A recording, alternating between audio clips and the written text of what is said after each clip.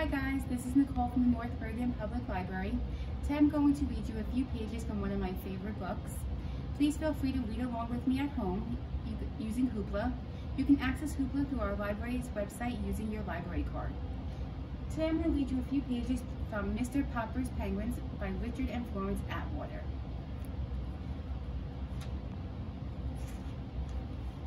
Stillwater. It was an afternoon in late September. In the pleasant little city of Stillwater, Mr. Popper, the house painter, was going home from work. He was carrying his buckets, his ladders, and his boards, so that he had a rather hard time moving along.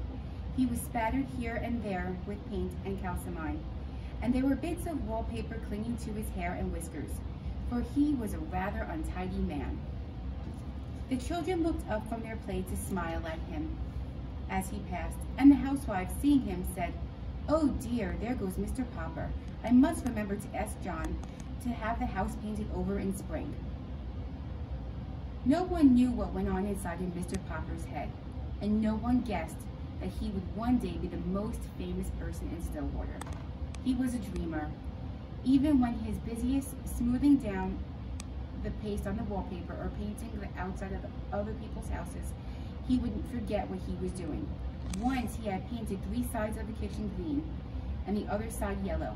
The housewife, instead of being angry and making him do it over, had liked it so well that she had made him leave it that way. And all the other housewives, when they saw it, admired it too, so that pretty soon everybody in Stillwater had two colored kitchens. The reason Mr. Popper was so absent-minded was that he was always dreaming about faraway countries. He had never been out of Stillwater. Not that he was unhappy.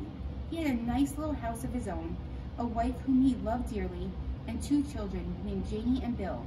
Still, it would have been nice, he often thought, if he could have seen something of the world before he met Mrs. Popper and settled down. He had never hunted tigers in India, or climbed the peaks of the Himalayas, or dived for pearls in the South Seas. Above all, he had never seen the poles. That was what he regretted most of all. He had never seen those great shining white expanses of ice and snow. He had wished that he had been a scientist instead of a house painter in Stillwater, so that he might have joined some of the great polar expeditions. Since he could not go, he was always thinking about them. Whenever he heard that a polar movie was in town, he was the first person at the ticket window, and often he sat through three shows. Whenever the town library had a new book about the Arctic or the Antarctic, the North and South Pole, Mr. Popper was the first to borrow it. Indeed, he had read so much about polar ex explorers that he could name all of them and tell you what each had done.